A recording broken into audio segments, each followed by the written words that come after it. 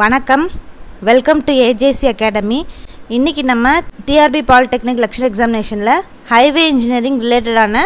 one mark and two mark MCQs தான் இந்த கிளாஸில் நம்ம பார்க்க போகிறோம் ஃபஸ்ட்டு நம்ம ஒன் மார்க் எம்சிக்யூஸ் வந்து பார்த்துடலாம் first question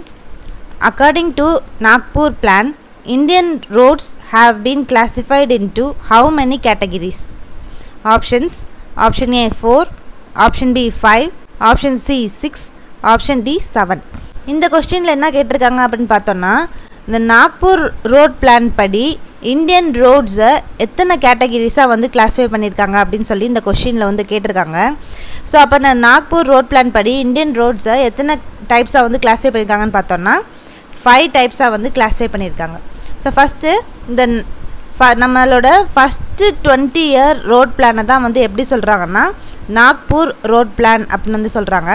இந்த நாக்பூர் ரோட் பிளானை தான் வந்து நம்ம இந்தியன் ரோட்ஸை எத்தனை டைப்ஸாக வந்து கிளாஸிஃபை பண்ணியிருக்காங்கன்னா ஃபைவ் டைப்ஸாக வந்து கிளாஸிஃபை பண்ணியிருக்காங்க ஸோ அது என்னென்னு பார்த்தோன்னா first national highway state highway major district road other district road village road so இதான் வந்து ஃபைவ் கேட்டகிரிஸாக நம்ம நாக்பூர் ரோட் பிளான் மூலமாக நம்ம இந்தியன் ரோட்ஸை வந்து கிளாஸிஃபை பண்ணியிருக்காங்க நம்மளுக்கு கொஸ்டினில் தான் வந்து கேட்டிருக்காங்க ஸோ வந்து இந்தியன் ரோட்ஸை நாக்பூர் ரோட் பிளான் படி எத்தனை டைப்ஸாக வந்து கிளாஸிஃபை பண்ணியிருக்காங்க அப்படின்னு சொல்லி ஸோ வந்து ஃபைவ் டைப்ஸாக வந்து கிளாஸிஃபை பண்ணியிருக்காங்க ஸோ அப்போ ஆப்ஷன் பி ஃபைவ் வந்து கரெக்டான answer next question for national highway and state highway to highway as per IRC is options option A seven point five metre option B ten metre option C twelve metre option D fifteen metre இந்த கொஸ்டினில் என்ன கேட்டிருக்காங்க அப்படின்னு பார்த்தோன்னா இந்த national highway and state highway இந்த ரெண்டு ரோட்ஸோட ரோட்வே வித் வந்து டூ லேன்ஸாக வந்து இருந்துச்சுன்னா ஐஆர்சி ஸ்டாண்டர்ட் படி எப்படி வந்து அதை அந்த ரோட்வே வித்தை வந்து கிளாஸிஃபை பண்ணியிருக்காங்க அப்படின்னு சொல்லி கேட்டிருக்காங்க ஸோ அப்போ ஐஆர்சி ரெக்கமெண்டேஷன் படி நேஷ்னல் ஹைவேக்கும் ஸ்டேட் ஸ்டேட் ஹைவேக்கும் டூ லேன்ஸ் ரோடாக வந்து இருந்துச்சுன்னா அந்த ரோடோட வித்து வந்து எவ்வளோ இருக்குன்னு பார்த்தோன்னா டுவெல் மீட்டராக வந்திருக்கும் ஸோ இந்த டேப்லெட் காலத்தில் நம்ம பார்த்தோன்னா உங்களுக்கு புரியும் ஸோ இந்த ரோட்வே வித் ஸோ வந்து ஒவ்வொரு டைப் ஆஃப் ரோட்ஸுக்கும் என்ன மாதிரியான அது வந்து பிளெயினா இல்லை ரோலிங் டெரைனா இல்லை மவுண்டெய்னஸ் ரோடா ஸ்டீப் டெரைனா இந்த மாதிரி வந்து of five different types of ரோட்ஸ்லாம் வந்துருக்கு ஸோ அந்த ஒவ்வொரு ரோடுக்கும் ஒவ்வொரு வித் uh, வந்து கொடுத்துருக்காங்க so first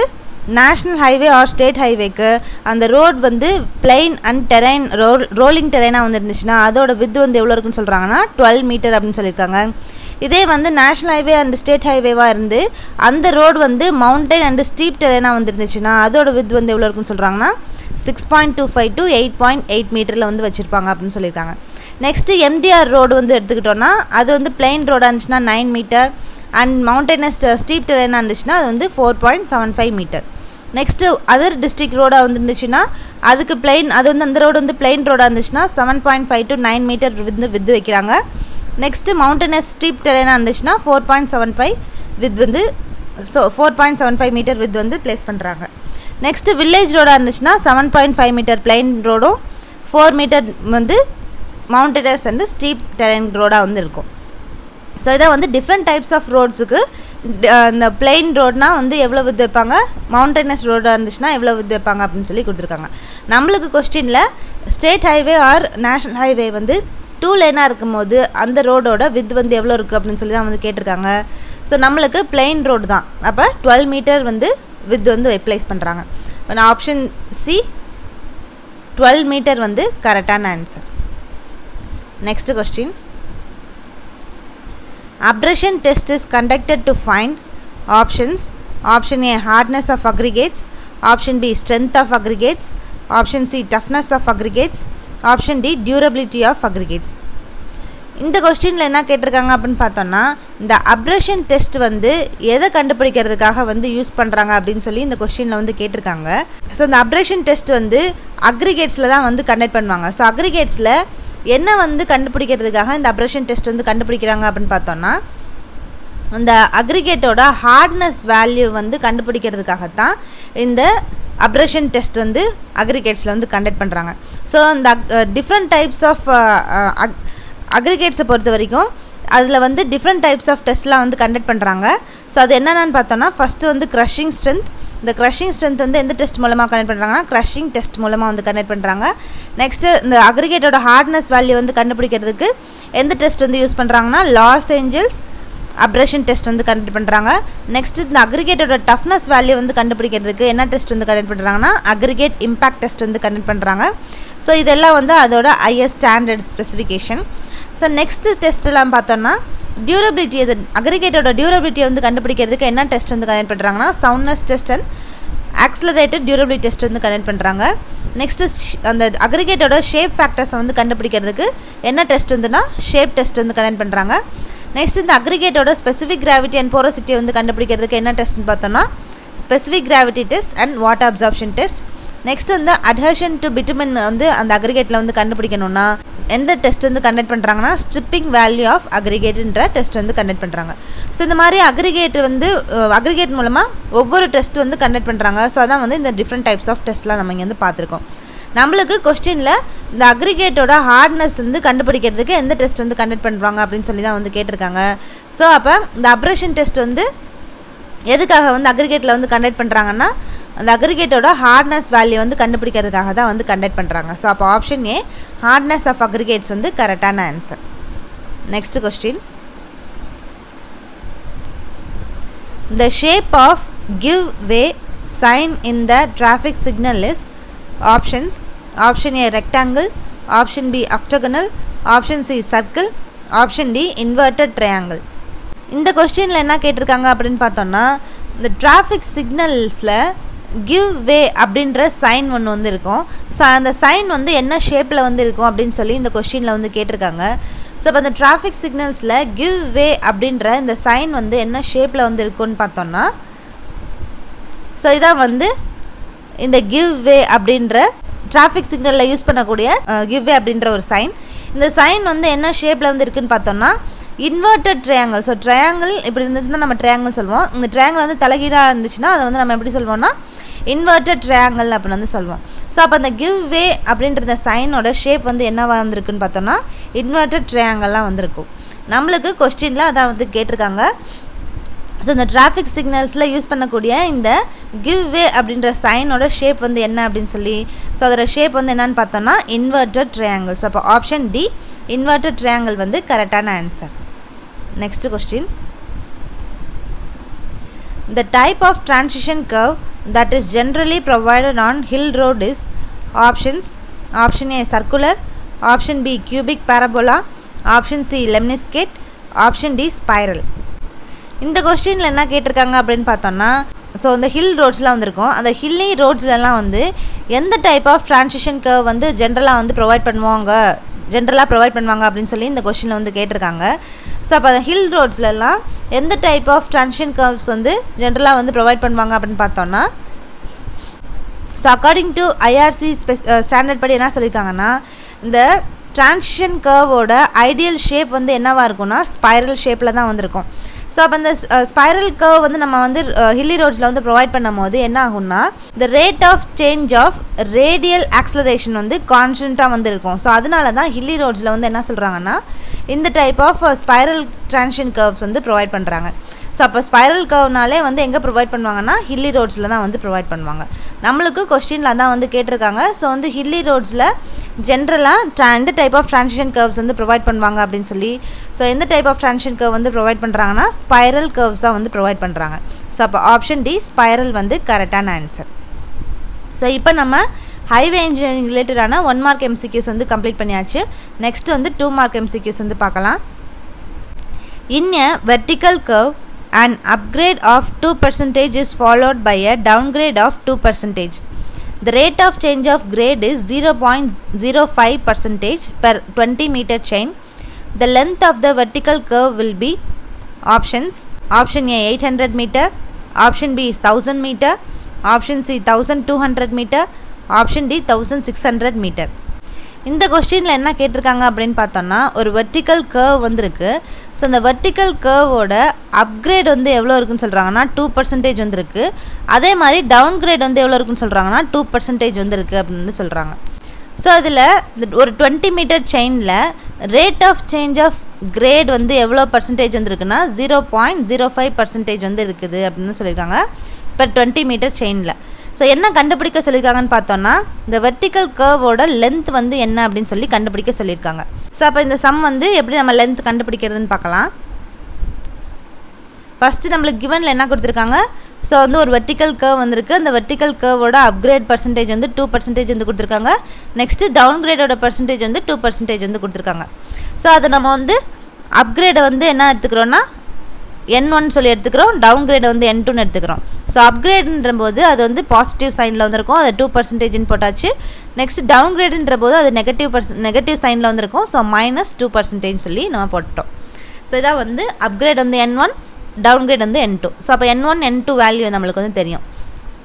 அதே மாதிரி இன்னொன்று வந்து நம்மளுக்கு என்ன கொடுத்துருக்காங்க இந்த vertical கர்வில் rate of change of grade வந்து எவ்வளோ பர்சன்டேஜ் வந்து இருக்குன்னா டுவென் பெர் டுவெண்ட்டி மீட்டர் செயினில் zero point zero five percentage வந்து இருக்குது அப்படின்னு சொல்லி கொடுத்துட்டாங்க ஸோ அப்போ இதுக்கு ஃபார்மில் என்னென்னு பார்த்தோன்னா டோட்டல் சேஞ்ச் இன் கிரேட் என்னோட ஃபார்மில் என்னென்னு பார்த்தோம்னா N one minus N two so நம்மளுக்கு என் ஒன் தெரியும் என் டூ தெரியும் ஸோ அதை சப்ஸ்டியூட் பண்ணலாமா ஸோ அப்போ என் ஒன் வந்து two percentage plus two percentage minus minus of two percentage so அப்போ மைனஸ் மைனஸ் வந்து ப்ளஸ் ஆயிரும் அப்போ two percentage plus two percentage போட்டோம்னா நம்மளுக்கு டோட்டல் சேஞ்ச் இன் கிரேட் அதாவது என் வேல்யூ வந்து ஃபோர் பர்சன்டேஜ் சொல்லி நம்மளுக்கு கிடைக்கும் ஸோ நெக்ஸ்ட் நம்மளுக்கு என்ன கண்டுபிடிக்க சொல்லியிருக்காங்கன்னா இந்த வெர்டிக்கல் கர்வோட லென்த் வந்து என்ன அப்படின்னு சொல்லி கண்டுபிடிக்க சொல்லியிருக்காங்க ஸோ அப்போ அதோட லென்த் வந்து என்னன்னு பார்த்தோம்னா டோட்டல் லென்த் ஈக்குவல் டு நம்மளுக்கு N value N divide by say rate of change of grade so நம்மளுக்கு rate of change of grade வந்து என்னது zero point zero five percentage into அந்த செயினோட total length so twenty metre chain நம்ம வந்து use பண்ணுறோம் அப்போ into twenty so அப்போ four divide by zero point zero five into twenty போட்டோன்னா நம்மளுக்கு எவ்வளோ வேல்யூ கிடைக்குதுன்னா தௌசண்ட் சிக்ஸ் ஹண்ட்ரட் மீட்டர்னு சொல்லி இந்த வெர்டிக்கல் கர்வோட டோட்டல் லென்த் வந்து நம்மளுக்கு கிடைக்குது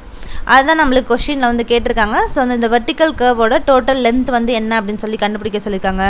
ஸோ அதோட டோட்டல் லென்த் வந்து என்னென்னு பார்த்தோம்னா thousand six hundred metre so அப்போ ஆப்ஷன் டி வந்து கரெக்டான answer next question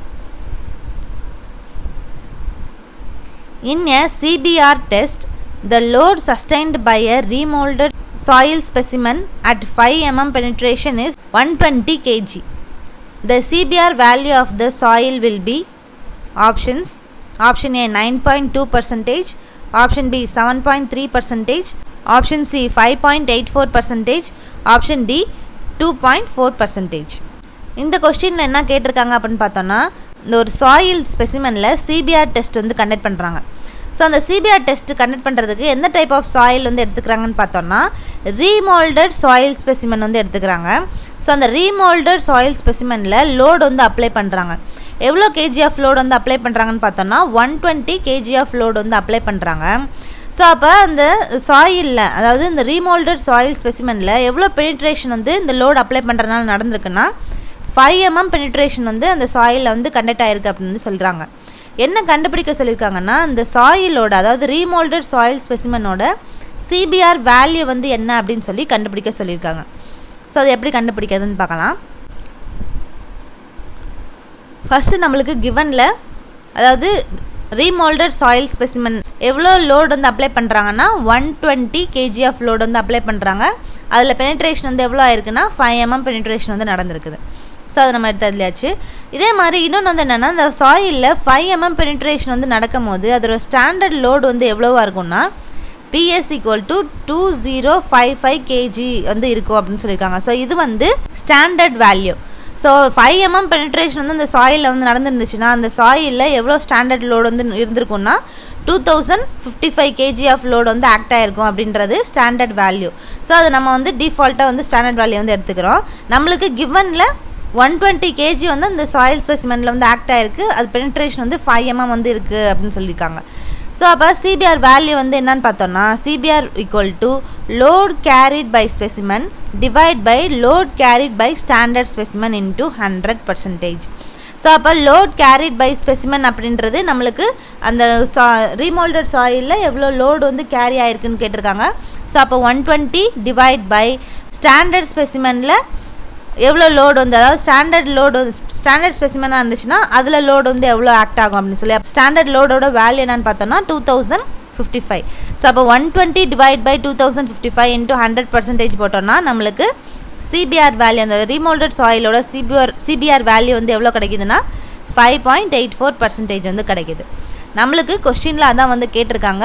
ஸோ இந்த சிபிஆர் வேல்யூ வந்து இந்த ரீமோல்டட் சாயிலுக்கு வந்து எவ்வளோ அப்படின்னு சொல்லி